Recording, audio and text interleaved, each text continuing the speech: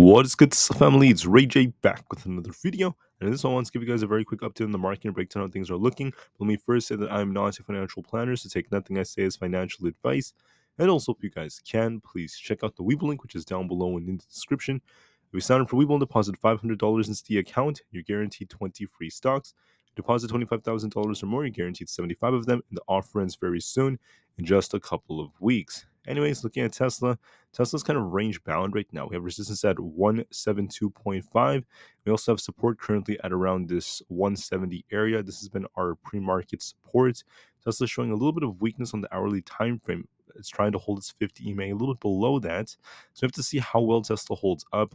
I do want to note that compared to Tesla, SPY is showing a little bit more strength as it's trying to push for this 515 resistance.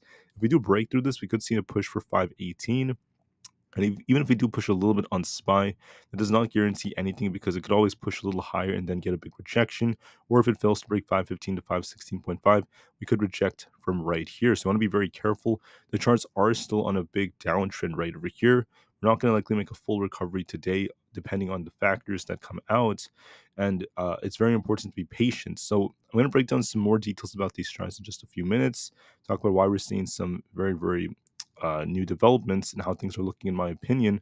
Uh, I'm going to be talking more about some data first. So the reason why the market kind of like popped a little bit and came back down and started to see more volatility is because we got some unemployment numbers. The numbers are not the best, but also they're not horrible. It's kind of like mixed. So overall, non-farm payrolls were 303,000. That's above expectations, showing strength in the labor markets.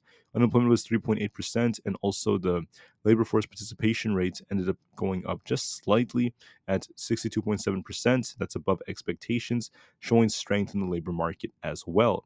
So what's happening is we're seeing strength in the labor markets uh, right now. This is not necessarily what we want to see, at least from the Fed. The Fed does warn that this could lead to higher inflation.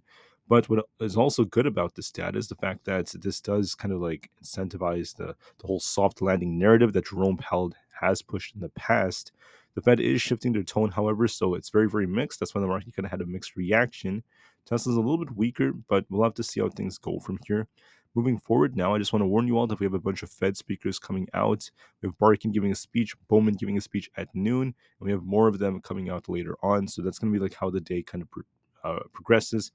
When it comes to other pieces of data, we saw a big tumble on Thursday, which may still continue to affect us. We saw a big spike in oil prices and fears that the Fed might wait to cut interest rates, which kind of hurt a lot of investment sentiment. So that's very important. That's part of why the market sold off the way it did. And that's very important for Tesla because Tesla's very dependent on interest rates. The jobs reports just came out pretty strong so far and even better than some expectations. So with that coming out, we're seeing some changes. With uh, we had U.S. Treasury Secretary Janet Yellen started her first full day of meetings in China by encouraging the country to pursue market-oriented reforms and discussing discussing excuse me overcapacity concerns as well. That's very important, uh, as we just saw her over there. And then Ford said it's going to be delaying production on its new all electric SUV and pickup truck. I actually have headlines right here about this. They're delaying production on the next gen electric three row SUV to 2027. And it was supposed to be produced in 2025, but they're delaying it because of what's happening with the EV market. Uh, this has been very slow for them. So it's a very, very big change that has been going on. That's it for the main headlines for the overall markets. World EV sales now make up about 13% of world auto sales, which is some good news for the market. The Tesla Model Y and the Tesla Model 3 being the top two EVs in the world thus far. There's also news coming out right here about how uh, Tesla's offering a lot, lot, more discounts on their SUVs, and they're doing so because they're trying to get rid of old inventory. The rear-wheel drive uh, version is going to about 4600 less than the cost of the custom order and there are others discounted by at least $5000 they're doing this for about 46500 vehicles and this is very important because uh, for production you guys can see right over here the production's exceeding deliveries by a large extent so trying to get rid of as, of as many of them as possible we also had some more news come out that brinkman cut its price target for shares to $115 from 130 and lowered its estimates for the first quarter earnings. So we got some negative news from analysts and we got some news about them slashing some prices, which led to this little drop in Tesla right over here. We're still barely holding support, so we're not officially bearish. But I'm going to say watch this range right over here. Tesla's been stuck between 170 and about 172 all day today and also yesterday during the after hours. So if we're bearish, you want to see Tesla lose 170. If we lose that, we could come all the way down to 167.8. If we're bullish, you want to see it break 172.5. If we break it, we could be pushing all the way up to about Uh, 173.75. Overall, we're kind of stuck in the middle, going back and forth and back and forth. But Tesla's showing a little bit of weakness because of the price cut it just got from some analysts and the fact that Tesla is going to be cutting a little bit of their prices just to try to get some sales back up for the overall inventory that they have that's excessive. So it is looking a little bit weaker, guys. Uh, we're barely holding 170, so watch that support, and we'll see if Tesla ends up losing this. Uh, I do want to note that it could actually try to pop a little bit with SPY if we do get a little push first before it may continue lower, so just be careful with this. Uh, so there is a risk of it coming down. Uh, let's see if we get a little pop first before we come down or not. It also depends on SPY. Looking at SPY, we're seeing some weakness, so a big issue I see on the chart is the fact that SPY has been trying to rebound a bit, testing 515's resistance.